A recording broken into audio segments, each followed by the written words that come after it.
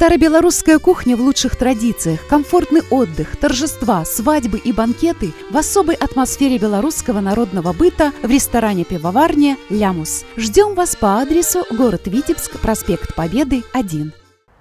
Ой, у поле озеречка, там плавай, ведеречка,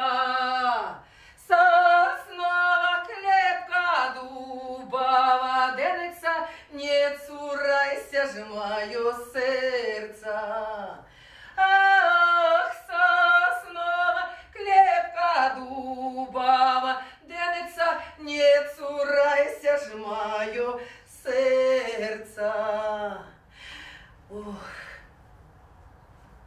Час вечеру готовать, ды вечерки распачать. Гули, песни и забавы, есть у нас для этой справы. Добрый вечер, дорогие друзья!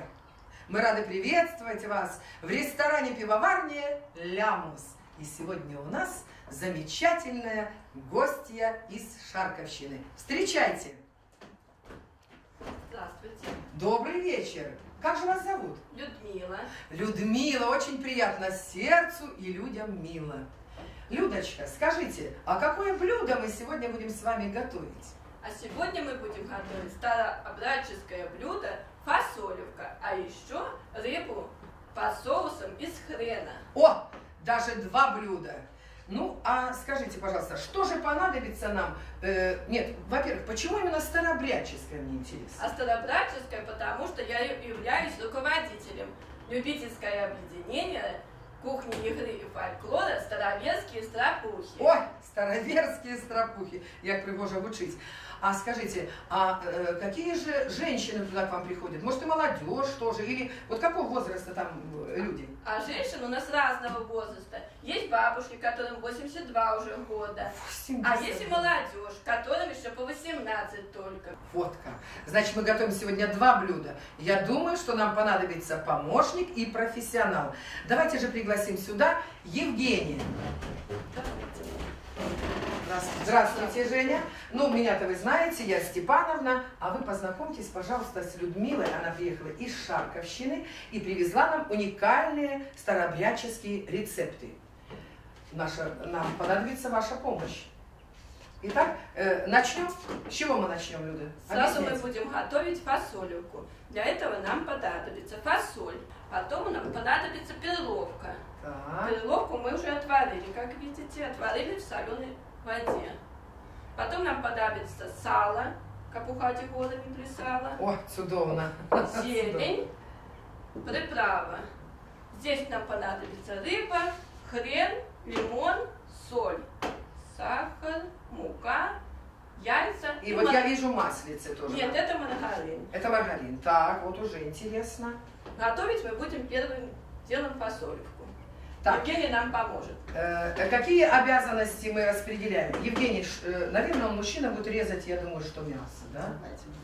Нет, может, зелень лучше пускай. У нас специалист режет Зелень, зелень. Мясо порежу я. А я хочу спросить у вас, э, Женя, скажите, готовили ли вы когда-нибудь вот такое вот блюдо с фасолью, и вот тут, э, получается, э, крупа еще сюда перловая входит? Готовили что-нибудь Да, с такое? фасолью и с перловкой готовил, но в совместном сочетании не встречал. Отлично, значит, вот сегодня будем здесь ворожить над этим блюдом. Ну что, поехали? Были времена, когда перловка являлась блюдом только для знатных персон. Позже процесс производства этой крупы упростился, и перловка, благодаря своей дешевизне, даже вошла в повседневное армейское меню. В этой крупе содержится много лизина, который принимает участие в синтезе коллагена, отвечающего за эластичность кожи и предотвращающего появление морщин. Перловка мало того, что безопасна, она полезна для аллергиков, ведь в ней содержатся аминокислоты, которые уменьшают восприимчивость организма к разнообразным внешним раздражителям. А вы, Степановна, чтобы не заскучали, позаймитесь приправой. Замечательно. Женя у нас займется зеленью, а я буду нарезать сало. Очень хорошо. Евгений, передайте мне перчик для начала. Так. О, перцу подсыпали. Морковку лучше натереть или нарезать? Кто как желает. Можно нарезать кубиками, а можно натереть стружкой. Морковь бывает всех размеров, форм и цветов. Она растет по всему миру, а уникальность моркови в том, что собирать ее можно, не дожидаясь окончания ее роста. Морковь применяется в кухонных рецептах практически всех стран. Ее можно варить, тушить, запекать или просто есть в сыром виде. Выращивают ее уже более двух тысяч лет. Правда, в древние времена морковка мало походила на сегодняшнюю. Цвет могла иметь фиолетовый, белый, желтый и даже черный, только не оранжевый. Привычно нам оттенок она приобрела благодаря голландским селекционерам, которые вывели новый яркий и сладкий сорт в честь принца Вильяма Оранжского. Лук мы будем резать кольцами. Делим, потом измельчим. А вот я знаю, что зелень, даже говорят, нужно э, не резать ножом, а рвать руками, что остается э, особая энергетика в ней, да? Это так или нет? Да, раньше и хлеб даже ломали руками, так что зелень можно не резать, можно нарвать руками. Польза репчатого лука в борьбе с инфекционными заболеваниями давно ни для кого не секрет. Он способен поглощать болезнетворные микроорганизмы и удерживать их внутри себя. Такой вот своеобразный магнит для микробов. Поэтому никогда не разрезайте головку лука заранее, задолго до готовки. Не храните его в очищенном виде, чтобы он не успел вобрать в себя все, что вокруг летает. Слезы же, которые проливает тот, кто лук раздевает, вызывается летучим веществом лакриматором, который растворяется в воде и слезах человека. Не дайте ему добраться до ваших глаз, смочите нож заранее. Кстати, парадокс. Острые сорта лука богаче сахарами, чем сладкие, а внутренние чешуйки, чем внешние. Итак, у нас готовы овощи и нарезано сало. Что мы дальше с этим делаем? Лук и морковку мы обжарим, Так. а сало обжарим отдельно. А Замечательно. фасоль с перловкой. Фасоль уже у нас отваренная в соленой воде. Предварительно мы ее замочили, чтобы она сварилась быстрее. Перловка тоже у нас уже отваренная, тоже в посоленной воде. Перловку с фасолью мы смешаем. Евгений, помогите. А фасоль нужна красная или белая? Фасоль нужна белая, потому что красная у нас дает цвет. А вот видите, это принципиальный момент. Должна быть белая фасоль.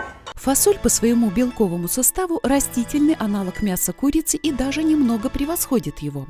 Она питательна и хорошо хранится, поэтому очень была популярна в рационе военнослужащих. Особенно ее уважал Наполеон Буанапарт, уверенный в том, что фасоль добавляет силы в мышцы и мысли в голову. Возможно, в чем-то он был и прав. По крайней мере, сегодня точно известно, что кальций и магний, содержащиеся в белой фасоли, исключительно полезны для укрепления зубов и костей. Да. Лук и морковку, я так поняла, можно смешать вместе и обжарить вместе. да? Можно смешать вместе и обжарить. Замечательно. Заправка для лука послужит вот это сало. Так, так. А мне интересно, когда же добавлять мою уникальную приправу? А приправу мы добавим попозже, когда то есть мы обжарим перловку и фасоль, обжарим на То сковороде. есть уже когда будет почти полуготовое блюдо, я так Да, понимаю? полуготовая. Замечательно. Я думаю, что и зелень тоже добавляют в последнюю минуту. Так, Евгений? Я думаю, да. А, Да, зелень это будем добавлять в последнюю минуту, когда уже будет наше все блюдо готово. Сало жарим до готовности, до золотистой корочки. Добавляем туда соль и приправу.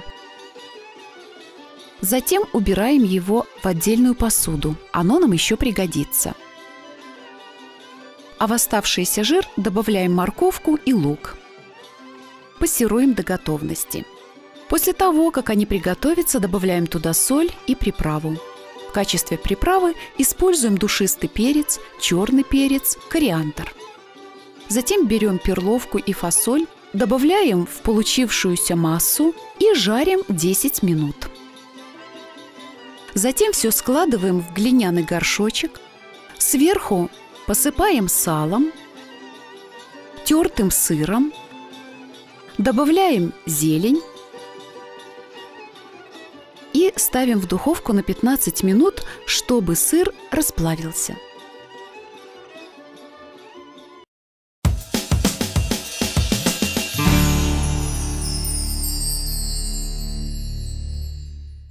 Я думаю, самое время приступить э, к нашей рыбке, да? Э, Евгений, э, что нужно сделать сейчас с ней? Вот подсказывайте. Мы говорим, посолить, поперчить надо. Уже мы это сделали, так. И сбрызнем соком лимона. А для чего это надо сбрызнуть? Для вкуса, или для запаха, для цвета? Он берет специфический запах рыбы. Замечательно, давайте будем это делать. Давайте. А раньше использовали рыбу ручную, и это не делали. Со временем мы чуть-чуть Так. рецепт этот уже усовершенствовали. Рыба была какая раньше? попробуйте. Щука, карась.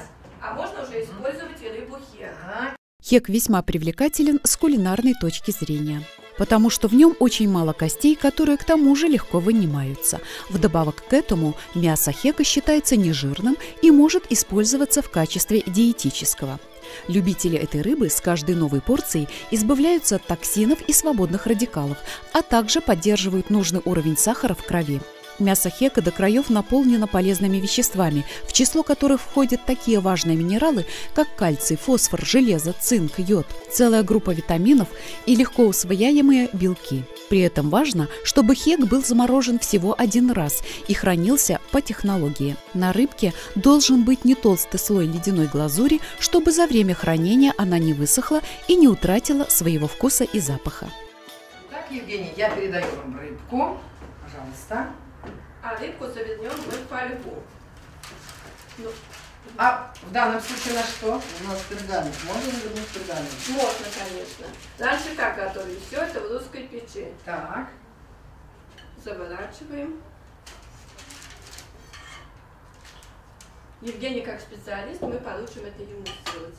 Конечно. Мы отправим в духовку, а сами будем готовить соус из хрена. Отлично. Евгений, мы эту рыбу отправляем в печь.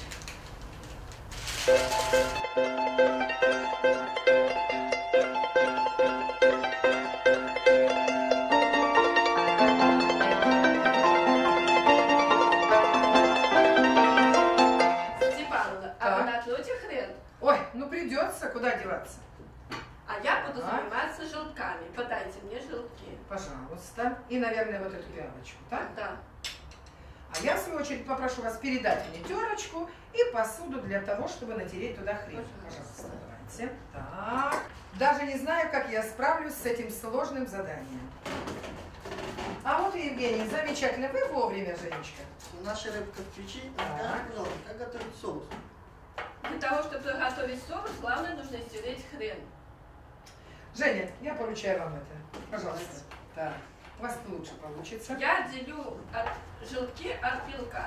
Степановна, вам ложка, трите маргарин. Замечательно. А Да. я буду отделять желтки от белков. Все заняты процессом. В сковороду кладем маргарин и растапливаем его. Пока маргарин растапливается, мы готовим заколотку. В рыбный бульон добавляем 2 столовые ложки муки. Хорошо размешиваем и добавляем в растопленный маргарин. Помешивая, добавляем хрен. Жарим примерно 10 минут. Снимаем с плиты. После жарки в содержимое добавляем сок лимона, соль и сахар по вкусу. В получившуюся смесь добавляем взбитые желтки. Добавляем аккуратно, тоненькой струйкой, чтобы они не свернулись. Еще добавляем 2 ложки сметаны и хорошо перемешиваем. Соус готов.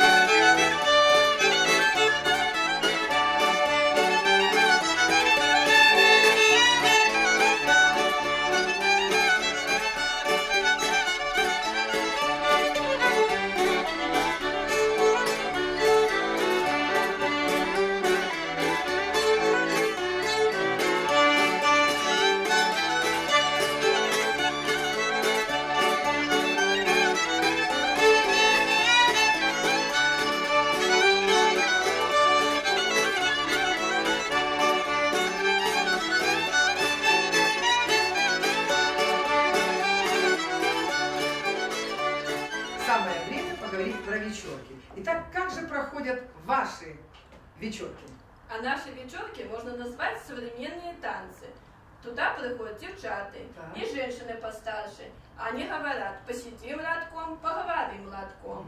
Излюбленным способом досуга и общения у деревенской молодежи традиционно были вечерние посиделки, вечерки. Летом собирались на улице, зимой по очереди во всех домах деревни или в складчину арендовали комнату у одной хозяйки на весь сезон, куда приносили с собой рукоделие, прялки, кудель, даже станки ткацкие или вышивание. Накрывали всем миром угощения. Каждая девушка старалась проявить себя с лучшей стороны и как кухарка, и как мастерица. Мы загадываем там загадки, песни поем, шутим. Но не сидим просто так, куделю пройдем. Раньше как говорили, кто куделю справил, то домой пойдет. А наши парни хитрые, чтобы девчата куделю быстрее справили, они могут и спичкой подпалить. О, ничего а, себе! А еще и нитку оборвать. Которая девочка ему проглянулась у той девочки. На вечерки заглядывала веселая ватага парней. Являлись кавалеры обычно без приглашения. Могли прошагать километров 10-15 в непогоду до соседней деревни, прослышав, что девчата тамошние собираются на посиделки. Кровь молодая, горячая. Девушки, конечно, рады были таким гостям, хотя виду старались не подавать, а чтоб парни не зазнавались слишком. На вечерках веселье и оживление, которое приходило в дом с веселыми частушками, дразнилками, танцами, преображало всех участников. Приветствовалась деликатная и тактичная культура ухаживания, порицалась излишняя напористость. Строго-настрого запрещалось являться на такие праздники в подпитии. Пьяный кавалер был вообще посмешищем. С ним ни одна девушка плясать не пойдет. Вот такое бытовало мнение. А скажите еще, вот еще, э, вы говорили про загадки. Может, какую-нибудь интересную загадку загадаете всем нам? Загадаю тебе Степановну загадку. Давайте. Утром в рот, в обед у живот, а вечером вон. Что бы это могло быть? Даже не могу догадаться. Утром в рот, в живот. А это вот сюда и пришло. Что это у нас? Как... Наверное, горшок этот глиняный, да? Правильно. Только я не могу понять, а потом что с ним произошло? Как вот финал-то мне не понятно. Ну как, печь поставили, это да. рот. А горшок кашу съели, уже вот. А вон горшок упал и разбился, а? его выбросили. Замечательная загадка. Жень, вам понравилась такая загадка? С вечерок парами уходили редко, чаще группами. Таким образом, за несколько лет до свадьбы будущие женихи и невесты хорошо узнавали всю окрестную молодежь, имели возможность срубить дерево по себе, найти пару наиболее подходящую. Впрочем, их мнение чаще всего решающим не было. Окончательное слово было за родителями. Ну что, я думаю, самое время, может быть, попробовать эти блюда. Ну, давайте попробуем, что у нас получилось. А вот на вечерках-то песни пели. И вот под это блюдо, может, какую-то такую песенку с вами споем. Попробуем? А может, вы споете нам? Била мяне мати, березовым прутом, чтобы я не стояла с молодым рекрутом. Хочется попробовать уже вот это замечательное блюдо. С чего начнем? С рыбки или с фасолевки? Наверное, с рыбки. С рыбки? Рыбка готова. Рыбка готова.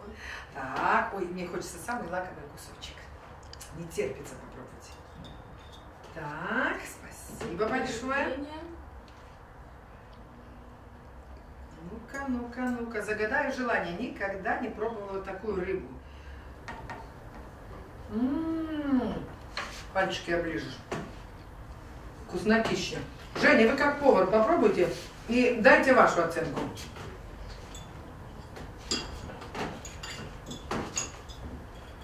Мне кажется, всего хватает. М? Вкусно. Угу. Замечательное блюдо. Ой, даже слов нет. Как вкусно.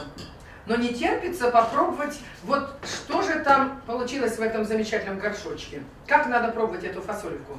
Нужно открывать и накладывать на посты. Так. Давайте. Ну, давай с хозяюшки начнем. Так, пробуем, пробуем. Вкусно, действительно вкусно. Как вкусно. А, прелесть. Блюда удались на славу. Очень вкусно. Я так. думаю, мы возьмем их в копилку своих рецептов. А я с удовольствием их передам. Ой, сегодня субботника, а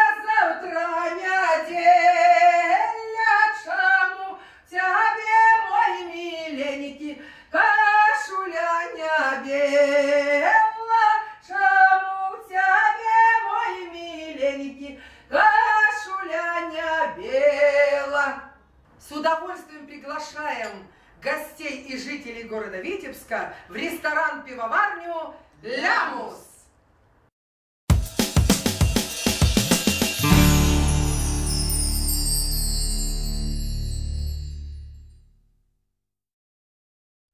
Старобелорусская кухня в лучших традициях, комфортный отдых, торжества, свадьбы и банкеты в особой атмосфере белорусского народного быта в ресторане пивоварня «Лямус». Ждем вас по адресу город Витебск, проспект Победы, 1.